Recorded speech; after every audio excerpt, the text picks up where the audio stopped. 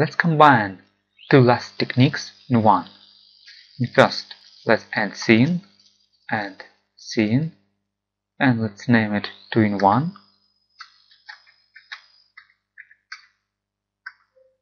And so we're going to combine the camera and the selection section plane in one scene. We're going to have two of these.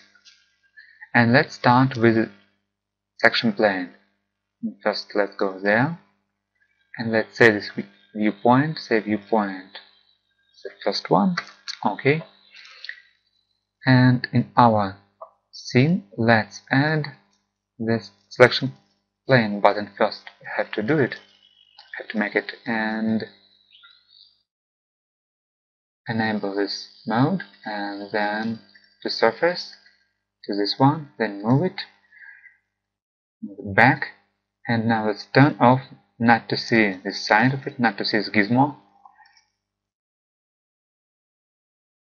And add section plane.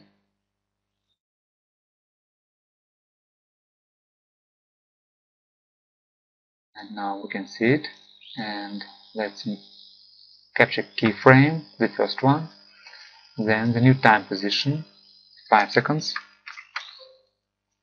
Then let's move it Let's move it this round table, this round thing. Turn off the move mode, then new keyframe, and let's change it to 10 seconds. And back to the move mode, and then okay to the stairs. The stairs is okay. Now turn off the move and make a new keyframe.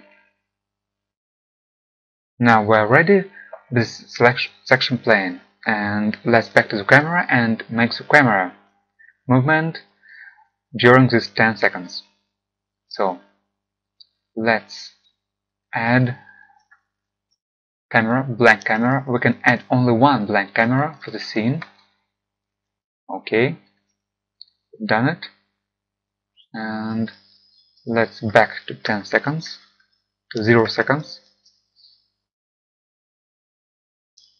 And let's make a new one. Keyframe now it's okay then let's make the 5 seconds.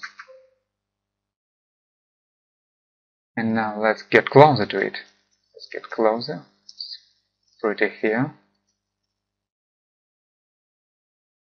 Then let's capture the next keyframe. And then with 10 seconds. Let's get closer to this one. And let's save it capture keyframe. And now we have in one scene the section plane is moving and our camera is moving. And let's play it. So stop, then play. And now we can see that